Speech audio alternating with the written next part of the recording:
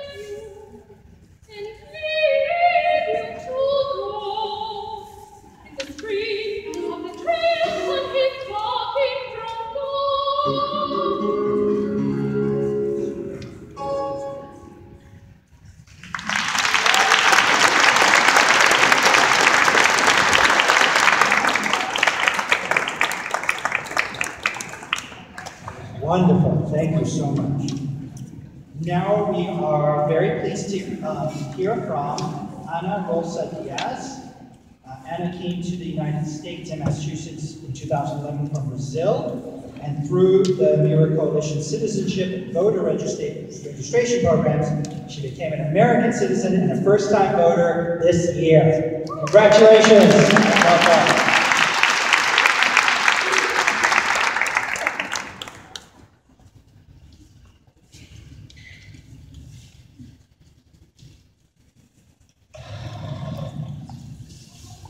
Good afternoon. I'm Anna Diaz. I live in Brazil. I moved to France from Brazil in 2011 with my husband, Osvaldo, and my daughter, Alice. Um, we felt blessed to move to a state where immigrants are responsible for their education. Also, where organizations like MIRA and its members with progress to promote a culture of wealth and integration. This work is even more important now, after an election season that left many in our communities concerned and worried.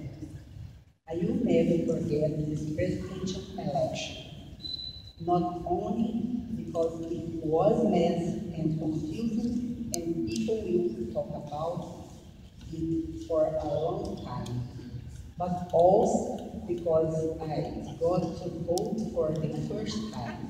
I became an American citizen on October 18.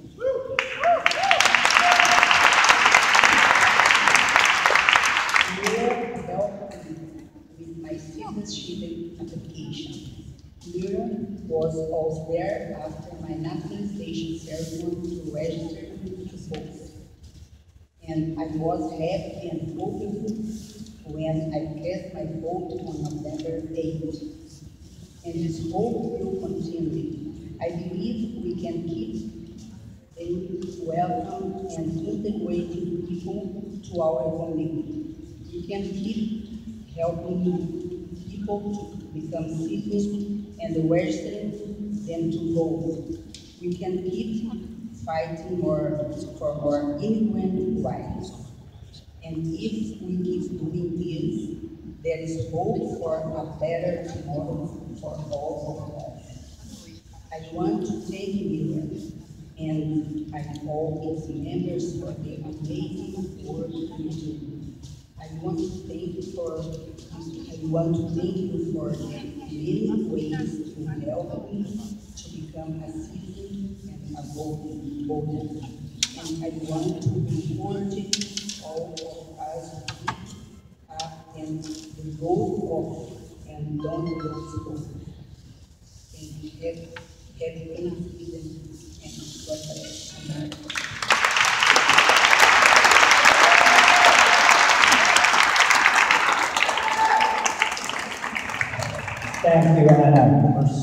pleased to have you as a new citizen in Commonwealth of Massachusetts. Okay, now we are going to hear from Saeed Ahmed, uh, who is a um, U.S. history teacher at East Boston High School. As a Somali refugee, Saeed came to the United States at age 12. He became a national track and field champion at age 15 as a student at Boston's English High, and he represented the United States three times in the World Track Championships. He is founder of the United Somali Youth, an after-school program where hundreds of Boston students engage in sports and other activities. Please join me in welcoming Saeed Ahmed.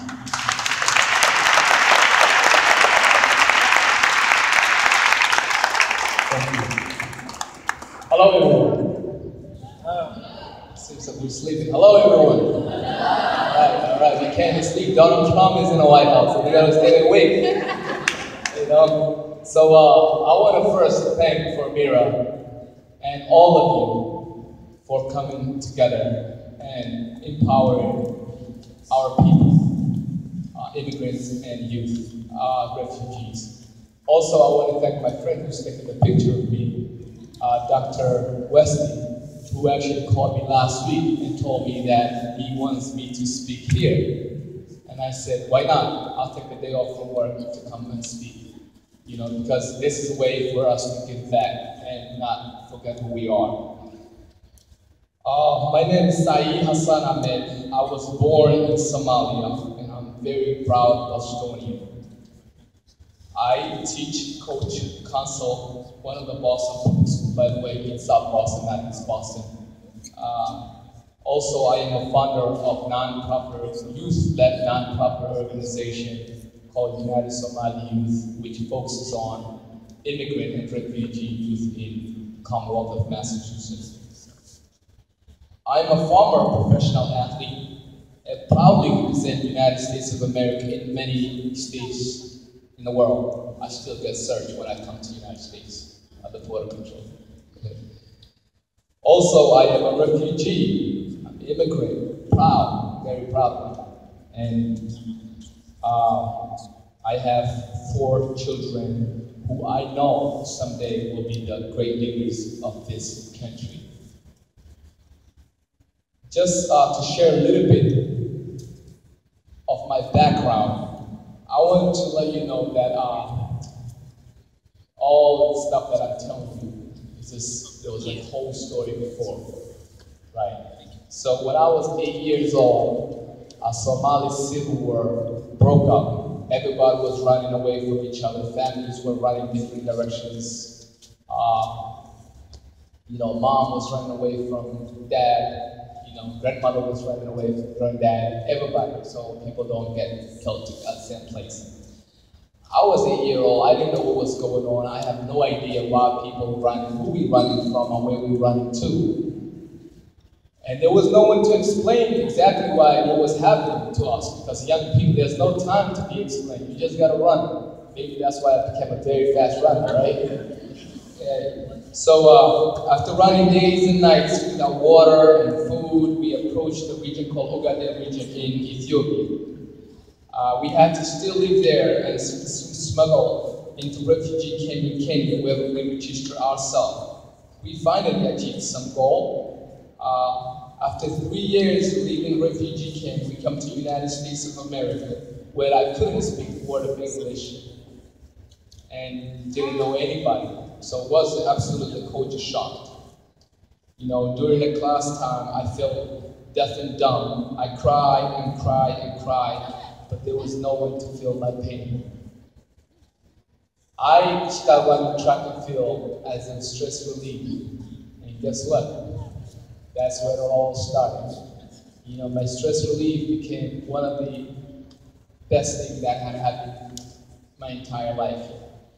Um, I became a champ as a 15 year old. I became an American uh, high school champion.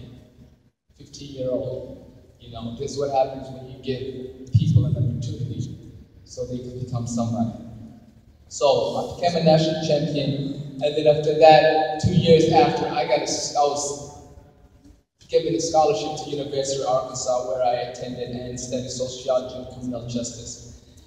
And then I became a professional athlete. I ran youth for United States and I had accomplished so many goals. You know, all those goals were just got gifted. It wasn't planned for it. But as I go, I went along with it. Uh, I'm a big believer of a second chance, right? You know, as you guys all know, Donald Trump is uh, elected president. We have no choice. He's going to be running this country the next uh, four years. However, we have to give him a chance and keep our eyes wide open to see what he does running this nation. Also, Donald Trump needs to give a chance to these refugees that are trying to come to this country, as his wife was given an opportunity to come to the United States, and now she is the first lady in the White House.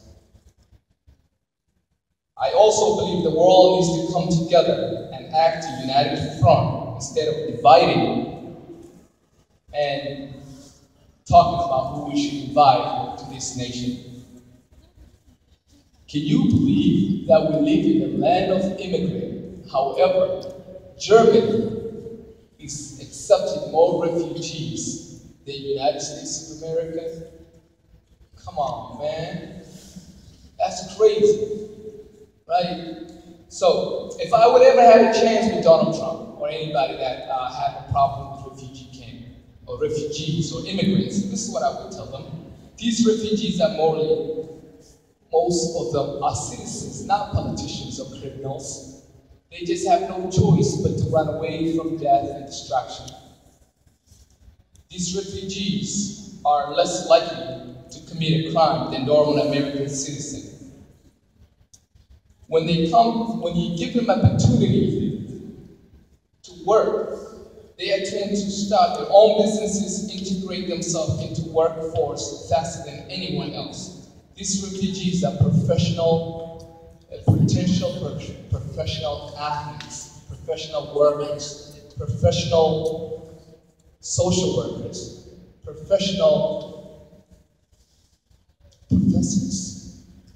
have to run away from their own country because of war. My brothers and sisters, we are writing history today. We're writing history today. So, what are we going to be recognized as? Are we going to be recognized as the country that refused women and children to enter our country, our borders, and close our borders? Or are we going to remember as a country that opens and gives everybody a second chance? By accepting these refugees into our country and integrating them into our society, we have much to gain. The only there's only something to be lost if we ignore these refugees and will be more dead women and children and we didn't, if we do not act with humanity. Please let's do the right thing advocate for our people just like Mira always have done. Let's give these people a second chance. And thank you for being here today. And please do not hesitate to invite me to speak to your event, Mira. I'm here for you anytime. And I am a proud immigrant and refugee young man. Thank you all.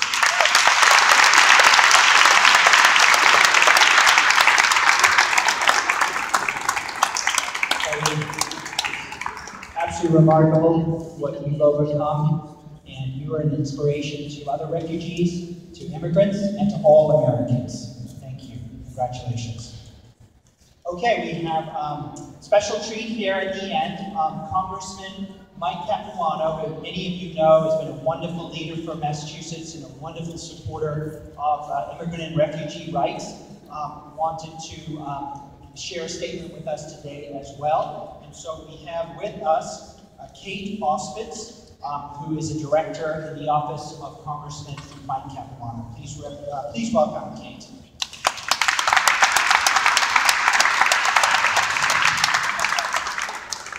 Well, um, Mike Capuano declined your kind invitation in September because he knew he would be in Washington today, the House would be in session, and they would be thinking about how great it was going to be having comprehensive immigration reform and many, many other things that are dear to all of us in this room. Um, this is not the future we hoped for, but it is the future we must face with courage and with determination. Uh, it is wonderful and inspiring to hear the stories we heard. A first-time voter, a refugee, uh, well, encouraging us to uh, behave as well as Germany it has with responding in this, this dreadful, dreadful time in America. But the, as the Attorney General said, you are not alone. Uh, it's enormously important not to be afraid. It's enormously important to know that harassment and discrimination and racism and xenophobia are wrong and practical expressions of them are usually criminal and they will certainly be prosecuted in Massachusetts. Um, the national problem is much greater. Um, we did not only lose, I speak as a Democrat, also as an American, as, you know, someone who understands us to be a country of immigrants. Um, we have lost both houses of Congress. The Constitution is very clear. Only Congress makes laws about naturalization. Something that is given by executive order by, like DACA, can be taken by executive order. So really, I'm not in a good place. Um, we have to stick together, and there's been Spanish spoken here. I think somebody should speak French. So let's remember the Haitian motto, L'union fait la force.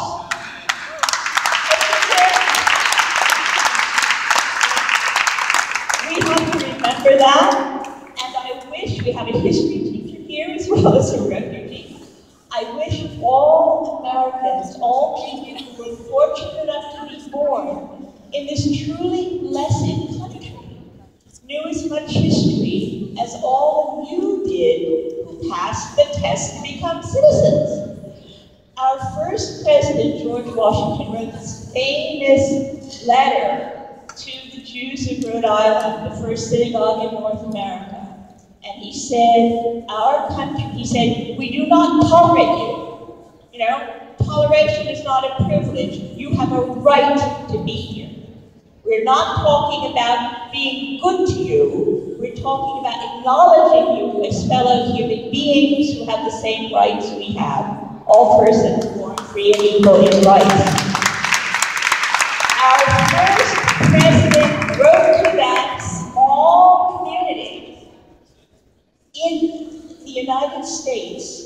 Give to bigotry no sanction and to persecution no assistance. We have to make sure in the future, and there will be another election in two years, not for president, but for Congress, we have to make sure that we are as we are as good globalists and as good humanitarians as George Washington. So I invite you to this fight. Um, it will not be simple, but we really, as I say, we're not alone. Massachusetts really is an island. Uh, the Attorney General is remarkable, and I think your initiative yesterday was wonderful and inspiring. Um, we have wonderful organizations. Emma, we have organizations. Our darling Emma, she was going to be a policy advisor on the new legislation. Well, maybe she will be. We have to keep working. Please, should also, I have to put in a pitch for our office. Our office does individual interventions in immigration cases. We can't make the law not apply to you. We can't change the regs for you, but we can make sure everything you are conceivably entitled to under existing American law you will get. So if you have problems, call us. But I leave you in the excellent hands of Mira and in this wonderful state house with remarkable leadership from the governor on down and the legislature. We are fortunate. We just have to make sure that all our fellow citizens soon live in states that are like Massachusetts.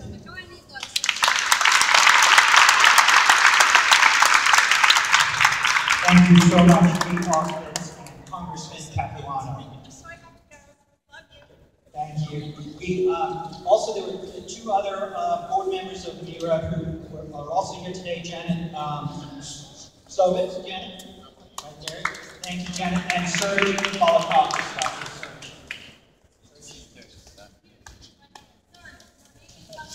Serge, there he is. Thank you, Serge. A constituent of mine as well. Good to see you. All right. I know many of you uh, took time off work today to be here, and, the program's been long, but I think it's because you've seen there's so many people who feel so strongly about what's happening in our state and our country and wanted to be here and to be with you today. So we have a special treat. Since you stuck around all the way to the end, we're going to have one final vocal performance from Bonnie Laura. So please join me in welcoming Bonnie. One more Thank you, everyone. What a blessed uh, opportunity to be last too, because I think music serves a purpose, and that purpose is in all this talk and energy around these topics.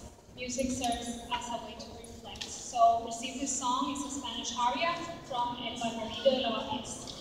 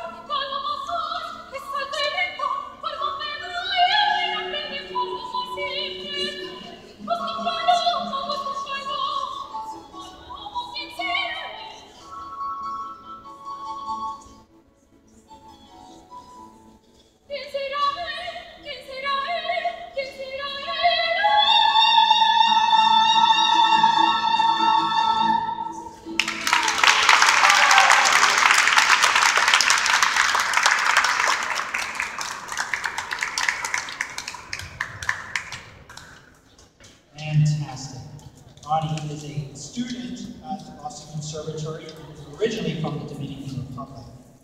Um, Thank you, everyone. We, uh, we should also give a big thank you to the honorary host committee members, which included Congressman Capuano, also Senator Elizabeth Warren, Congresswoman Katherine Clark, Congressman Jim McGovern, and Congressman Seth Moulton. Uh, also, the Senate President, Senator Rosenberg, was on the honorary host committee, and Speaker Robert DeLeo of the House of Representatives. So fantastic support from our top elected officials. Thank you also to all the sponsors of today's event, including uh, Whole Foods. Um, let me just say in closing, um, please come back to the State House.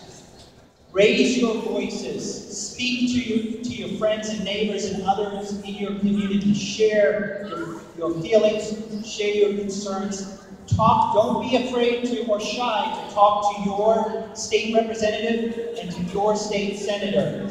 We want to, they want, I want to hear from you, they want to hear from you. We want to support you and work with you. So we need you to continue to engage, to continue to raise your voices.